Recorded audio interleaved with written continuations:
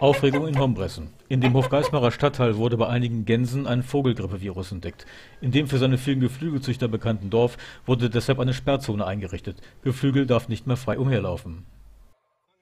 Wir haben hier noch ein Glück im Unglück gehabt, weil es sich um eine nicht so ansteckende Art des äh, Virus Vogelgrippe handelte. Und wir müssen aber trotzdem einen Kilometer Radius um den Ursprungsbetrieb ziehen und dort alle anderen Geflügelhalter überprüfen. Nachdem alle Tiere in dem betroffenen Stall getötet wurden, bekommen nun alle übrigen Geflügelzüchter im Ort Besuch von Amtstierärzten. Acht Teams sind unterwegs. Sie entnehmen mit Tupfern Proben aus dem Hals und am anderen Ende des Tieres aus der Kloake, um sie auf Viren untersuchen zu lassen. Die Schutzkleidung dient nicht zum Schutz der Menschen, sondern soll verhindern, dass möglicherweise Erreger von einem Betrieb in den anderen übertragen werden. Immerhin 783 registrierte Tiere müssen untersucht werden.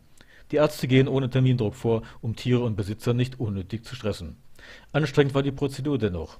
Wenn die Laborwerte vorliegen, steht fest, ob noch weitere Ställe betroffen sind. Menschen müssen jedenfalls keine Angst vor Ansteckung haben, hieß es